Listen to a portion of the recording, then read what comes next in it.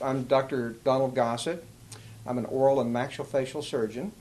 Uh, I have training in dentistry and specialty training in maxillofacial surgery.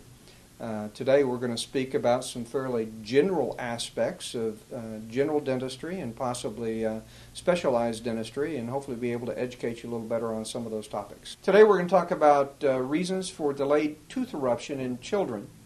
Uh, delayed tooth eruption occurs most commonly with either systemic diseases or some type of syndrome that involves a child.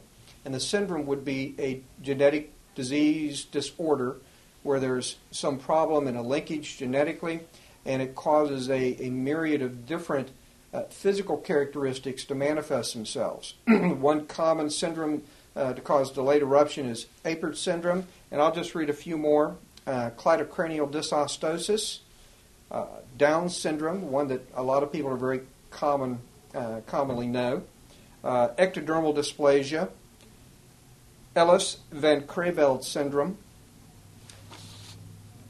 incontinentia pigmenti achromians, and progeria. Uh, other reasons would be systemic diseases such as hypoparathyroidism and hypothyroidism. These are very common causes of either uh, delayed eruption or non-formation. Uh, many of these syndromes can give anodontia, which would give the sense that you have delayed eruption, but in essence you don't have any teeth forming. These are the common causes of delayed eruption. This is uh, Dr. Donald Gossett. I hope you enjoyed uh, the information to the point where um, you may pursue dentistry or you may pursue uh, the benefits of some of the treatment alternatives.